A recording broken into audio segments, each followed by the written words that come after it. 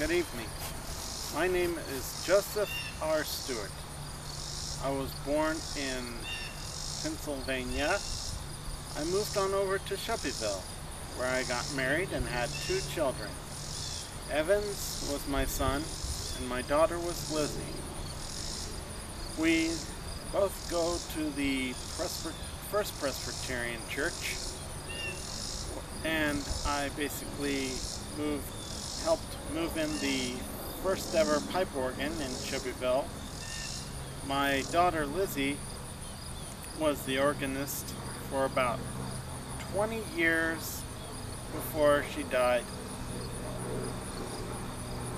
And a long time ago, I was also part of a furniture company, which didn't last very long because of the fire that took it away.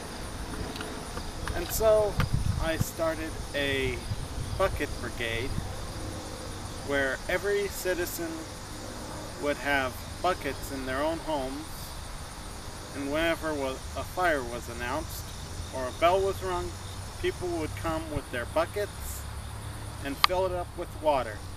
Then I'd be there to form a double line and everyone would pass down buckets of water and I would be the first in the line because of my physical strength and my accuracy I was able to put out all of the fires by throwing the water straight on which made me the first ever chief of the Shelbyville Fire Company.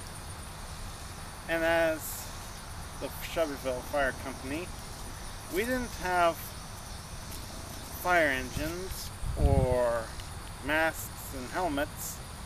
We didn't even have those fancy black and yellow striped jackets that you now see before you today.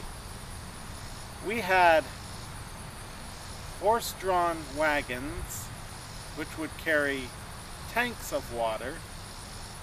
We had fireman caps and of course we had these fire jackets, these fireman jackets right here that we use to indicate that we were firemen.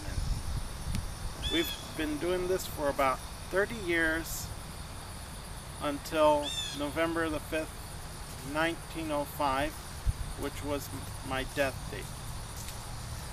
From that day forward, the fire company was still moving on and still going strong. Thank you.